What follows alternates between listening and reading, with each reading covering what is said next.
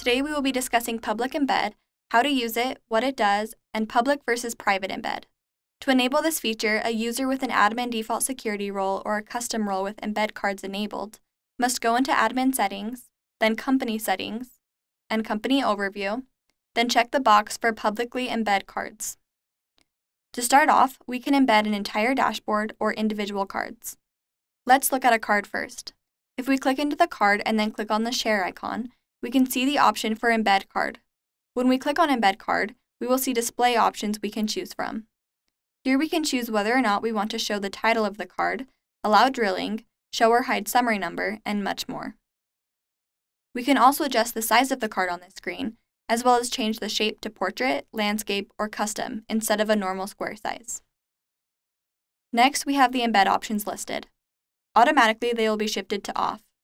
We can change that by going to the drop-down menu and choosing private or public embed. Public embed is to consume data only. We can publish a URL and anyone with access to the card link can see the data. We can share it on public websites, blogs, or social media platforms. For instance, we can embed this card onto our company website.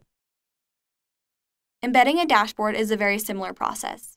We go to the share icon on the right-hand side, click on Embed Dashboard, and see the same settings and options we have with embedding a card. When we choose Public Embed for the dashboard, we will be given a share link we can use as well as the embed code.